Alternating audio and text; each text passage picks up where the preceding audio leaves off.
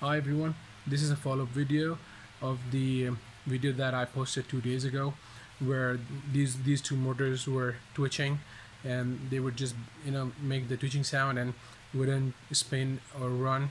I was trying it with the servo tester and I have two four of these motors. Two of them were working just fine and these two were just twitching around. So I, I did a, uh, I, I posted on uh, RC India forum and one of the guys uh, um, suggested that I would just check the continuity of the motors. So here it is. Uh, I found really found the problem where problem where like on the motors about where what the problem was. Uh, it's pretty easy. You take a multimeter and you put it onto continuity. So they would just it would just you know make sound. So this is one of the motors. Uh, this thing like the bullet connector just broke off. How do you test these motors is you take any two leads and connect excuse me and they should you know actually give you a continuity um, tone. So I take one of the pairs.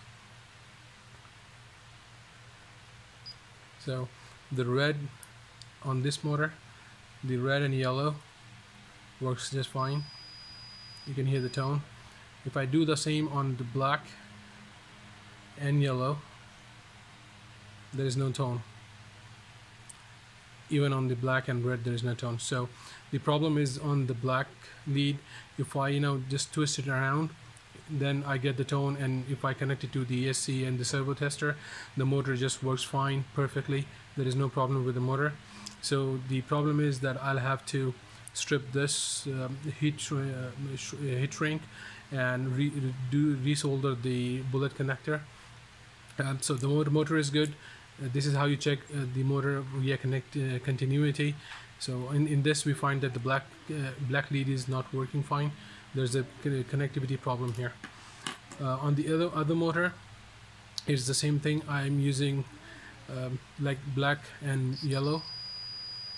I have a tone. If I do the same thing on black and red there is no see?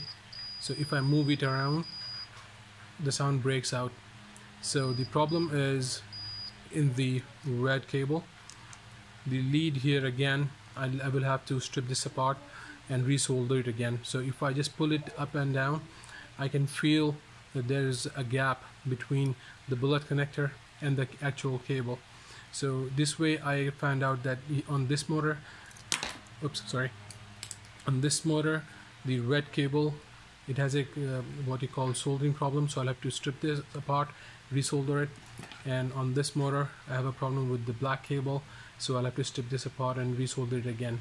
So overall this is how you check motors if they're twitching around. Um, the motors are good. I thought they were bad and I was supposed to buy new motors but uh, I found out the problem was not the motors. It was it was only the connectors.